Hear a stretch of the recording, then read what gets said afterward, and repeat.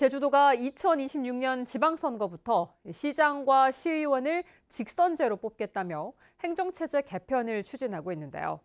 올해 안에는 주민투표를 해야 하는데 정부가 아직까지 명확한 입장을 밝히지 않고 있는 상황에서 행정체제 개편이 가능하겠냐는 지적이 도의회에서 나오고 있습니다. 조인호 기자입니다. 제주도가 올해 초 확정한 행정체제 개편안은 시장과 시의원을 직선으로 뽑는 동제주시와 서제주시, 서귀포시 등 3개의 기초자치단체를 설치하는 내용입니다. 이 같은 개편안을 추진하려면 행정안전부 장관이 제주도지사에게 주민투표를 요구해야 됩니다. 주민투표를 통과한 뒤에도 법 개정 등 최소 1년 이상 준비 기간을 거쳐야 2026년 지방선거에 적용할 수 있습니다. 이 때문에 이달 말에는 행안부에 주민투표를 건의해 11월에는 투표를 실시하겠다는 게 제주도의 입장입니다.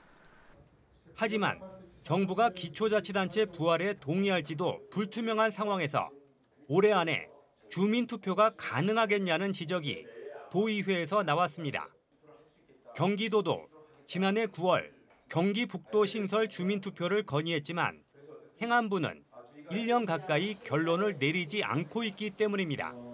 그렇게 빨리 우리보다 1년 앞서 요청을 했음에도 불구하고 지금 현재까지 묵묵부답입니다. 그러다 보니 과연 제주도는 1년 늦게 시작했는데 주민투표가 가능할 거에 대한 좀 우려가 있습니다. 만약에 주민투표가 안 됐을 때, 주민투표가 안 됐을 때 2026년 7월까지 우리 이게 지금 제주형 어, 행정체제 개편이 안 된다고 봐야 돼도 무방할 것 같아요.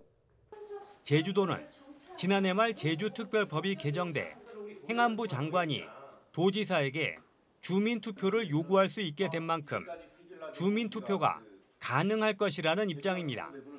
그래서 제주특별법 개정안이 어쩌면 우리가 주민투표를 할 수 있는 그 절차적 근거가 마련됐기 때문에 경기 북부와는 사정이 다르다고 생각이 듭니다.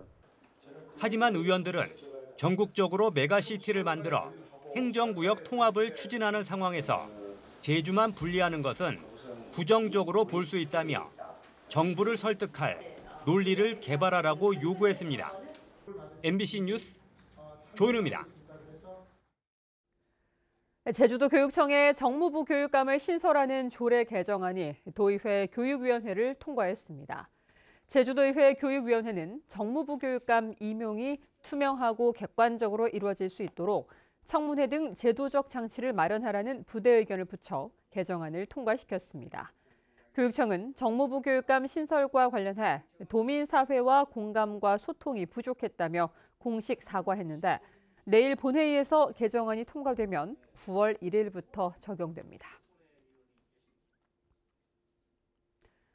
드림타워 카지노 이전과 관련한 논란이 3년 만에 다시 제기되고 있습니다. 당시 논란 속에 이전 허가를 내주며 제주도는 위법이 드러나면 재조사를 검토하겠다고 했었지만 법적 근거도 마련하지 않은 것으로 드러났습니다. 박주연 기자가 취재했습니다. 12대 도의회 후반기 들어 처음 열린 문화관광체육위원회. 최근 1심 판결에서 유죄가 선고된 카지노 도민 의견 조사 조작 문제가 또다시 제기됐습니다. 전반적으로 재조사를 해야 되지 그거 한쪽만 문제했다고 볼 것인가 저는 그런 네. 좀 문제의식이 있고. 이 같은 문제는 이미 3년 전에 제기됐습니다. 당시 제주도는 위법 사항이 확인되면 재검토를 하겠다며 카지노 이전 허가를 내줬습니다. 중대한 하자가 발생한다고 하면은 영양 평가나 재조사를 재검토하는 걸로 이렇게 하겠습니다. 결국 3년 넘게 이어진 수사 끝에 1심 재판부는 의견조사 조작을 인정했습니다. 당시 조작을 주도한 혐의로 카지노 전 대표는 법정 구속됐고 조작에 연루된 3명 모두 징역형을 받은 상황. 제주도는 대법원 판결까지 지켜봐야 한다는 입장이지만 도의회 의결 당시 내놓았던 재조사 검토는 애초부터 불가능한 것으로 확인됐습니다. 카지노 역량평가는 제주도 카지노업 관리 감독에 관한 조례에 따라 카지노업의 신설과 이전, 확장에 따른 허가 신청을 할 때 하도록 돼 있습니다. 하지만 같은 조례는 물론 상위법인 제주특별법과 행정처분의 근거가 되는 관광진흥법 어디에도 사업자가 거짓으로 자료를 제출할 경우 재검토 등 제재할 수 있는 조항이 없기 때문입니다. 상위법에 위임이 없는 권리 제한이나 의무 부과를 조례로만 정한 것은 처벌 조항도 규정하기 어려울 뿐만 아니라 사업자 측에서 조례의 효력을 다투는 경우 조례 자체가 무효가 될 가능성도 높습니다. 그러면 아무 제한 없는 카지노 허가를 해주는 것과 다를 바가 없습니다. 제주도는 카지노 이전 허가 당시 대형 로펌의 자문을 받아 진행했지만 자문 내용은 공개할 수 없다고 밝혔습니다. 또 법제처의 유권 해석은 받지 않은 것으로 확인됐습니다. 어떤 절대적 그 요소가 아니고 하나의 고려 요소로서 어, 그 영향력은 어, 뭐 저 취소 사유 이런 게 어떤 법률 근거에 의해서 명시돼야만이 취소할 수 있는데 중문에 있던 카지노 면적을 4.5배 늘려 주거지와 상권이 밀집한 도심 한복판으로 이전한 드림타워 카지노. 당시 제주도는 무분별한 카지노 확장과 부작용을 막기 위한 견제 장치로 카지노 영향평가 제도를 강조했습니다.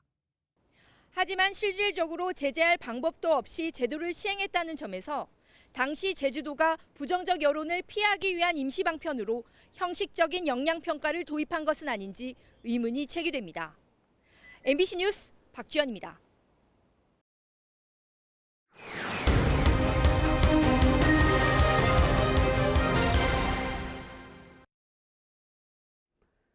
서귀포 연안에 주로 서식하던 연산호가 바다 수온 상승으로 제주 전역으로 확산되고 있는데요.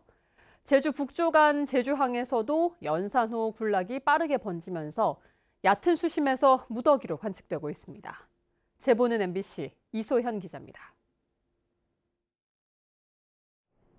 제주항 국제 여객터미널 부근 방파제.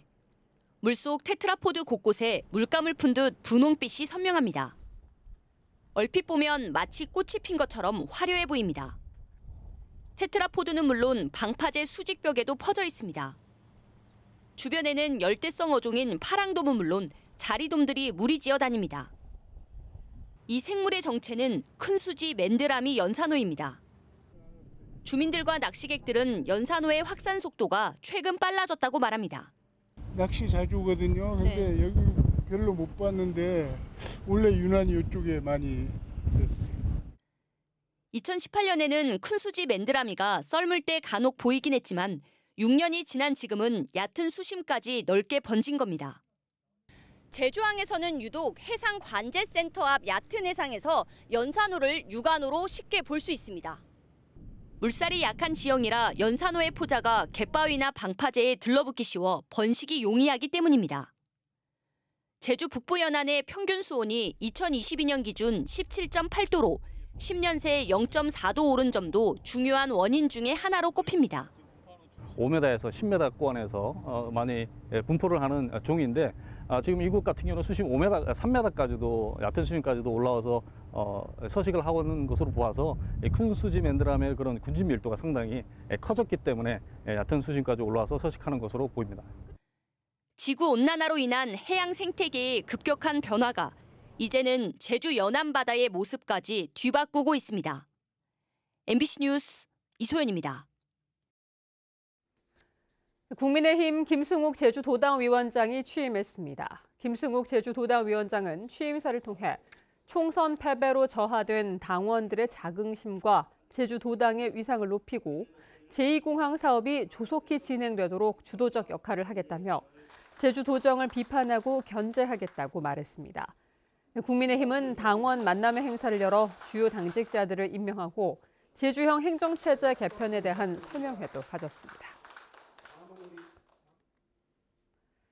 이병철 제주시 체육회장의 직장 내 괴롭힘 인정에 대해 민주노총 제주본부가 제주도와 대한체육회에 피해 보호 조치 공문을 보냈습니다. 이들은 직장 내 괴롭힘이 인정됐는데도 근로기준법에 따른 분리 조치를 비롯한 피해자 보호 등이 전혀 없어 2차 피해가 우려된다고 밝혔습니다. 한편 이병철 제주시 체육회장은 직장 내 괴롭힘 12건의 위반 사실을 인정했고 사무국장도 여성 비하 발언과 욕설 등으로 고용노동부에 신고돼 조사를 받고 있습니다. 서희초 사건 일주기를 맞아 제주에서도 추모 문화제가 열렸습니다. 전교조 제주지부와 제주도 교원단체 총연합회 등 6개 단체 500명은 제주도 교육청 안마당에서 숨진 교사를 추모하는 추모 문화제를 열고 추모 발언과 공연 등 행사를 진행했습니다. 이들은 서희초 사건으로 악성 민원과 업무 과중에 시달리는 교사들의 문제가 알려졌다며 더 나은 교육 세상을 만들기 위해 함께 나아가겠다고 선언했습니다. 유치원과 어린이집을 통합하는 정부의 유보 통합 정책에 대한 시범 사업 설명회가 오늘 제주에서 열렸습니다. 교육부는 설명회에서 유치원과 어린이집 교원 등을 상대로 정부의 정책 방향과 시범 사업 운영 사항을 설명하고 현장 교원들의 의견을 들었습니다. 교육부는 제주도 교육청의 추천을 받아 유치원과 어린이집 6곳을 선정해 오는 9월부터 시범 사업을 벌일 예정입니다. 한편 전교조 제주지부는 준비 과정 없는 졸속 추진이라며 시범 운영 철회를 요구하고 있습니다. 제주 지역 10개 해수욕장의 파라솔 요금이 2만 원으로 낮춰졌습니다.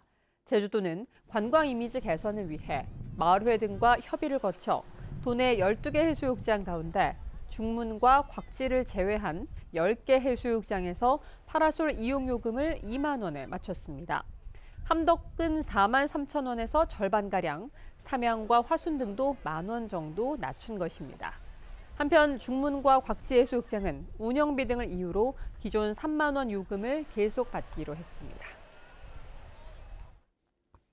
해외여행이 늘어나는 여름 휴가철을 맞아 모기 매개 감염병에 대한 각별한 주의가 요구됩니다. 제주도는 올해 전국적으로 말라리아와 댕기열 등 모기 매개 감염 사례가 300건 넘게 확인됐다고 밝혔습니다. 아직까지 제주에서는 발생된 사례가 보고되지는 않았지만 해외를 다녀와 2주 안에 발열과 근육통 등 의심 증상이 나타나면 의료기관에 방문할 것을 당부했습니다. 뉴스데스크 제주였습니다. 여러분 고맙습니다.